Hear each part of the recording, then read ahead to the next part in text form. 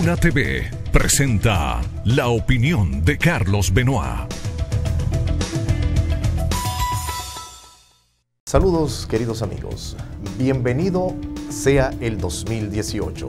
Bienvenidos sean todos ustedes a esta nuestra opinión, deseando lo mejor de lo mejor, que la esperanza, que todo lo positivo, que todo lo recto pueda llenar cada una de sus vidas en cada uno de ustedes. Nuestros mejores deseos desde Luna TV, Canal 53, que emprendiendo este nuevo año, usted también emprenda lo mejor de su vida.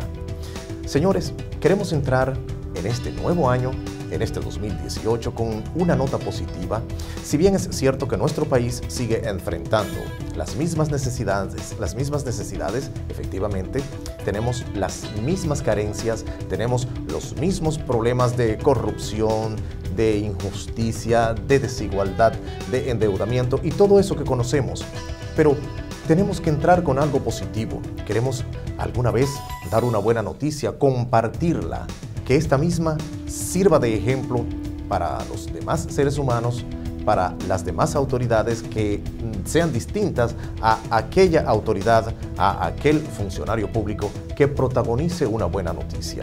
Por eso quiero comenzar este 2018 en nuestro segmento acostumbrado a la opinión de este servidor con algo bastante positivo y bastante ejemplar. ¿A qué me refiero?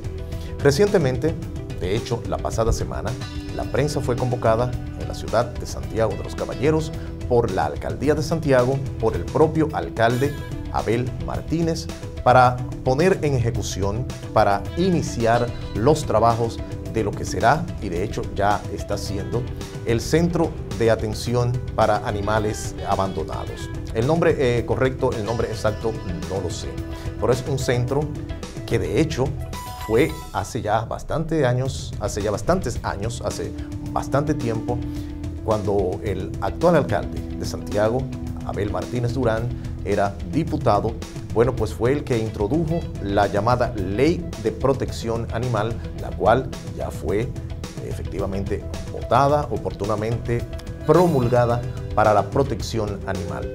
Nosotros, al paso de los años, hemos visto cómo los seres humanos, en este caso los dominicanos, que es lo que nos atañe a nosotros, de hecho, incluso los haitianos, lamentable sea tener que decirlo, por diferencias culturales que son parte de aquellos motivos por los cuales muchos dicen que no podemos caber juntos de manera definitiva, tienen costumbres hasta de comer gatos, matar gatos, hacer sacrificios en sus rituales satánicos de vudú, eh, donde sacrifican gallinas, pollos, gallos, eh, sacrifican gatos, chivos y otras cosas, eh, pero el caso no es ese aunque tampoco podemos dejar de, de, tomarlo, de tenerlo en cuenta. Pero recientemente el alcalde de Santiago, Abel Martínez Durán, inauguró los trabajos de este importante centro para proteger, para recoger, para acoplar y acopiar los animales que son abandonados en las calles. Ya de hecho se está utilizando una dependencia de la alcaldía para que el ayuntamiento con los recursos de la ciudad pueda recoger y atender adecuadamente estos animales que son abandonados en las calles. Qué acción tan humana, qué acción tan ejemplarizadora y que debe ser imitada no solamente por otros alcaldes, no solamente por otras autoridades, sino por otros seres humanos. Señores, qué maldad. Si usted no puede tener una gata, si usted no puede tener una perra en su casa porque pare y no la atiende, no eh, toma las previsiones médicas o veterinarias para que no pueda reproducir, lamentablemente, usted está causando una maldad, un acto inhumano, permitiendo que estos animales, eh, bueno, pues se embaracen, sean preñadas y luego lanzar a las calles los gatitos, eh, lanzar a, las calles los perritos, los cachorros, a, la buena de Dios.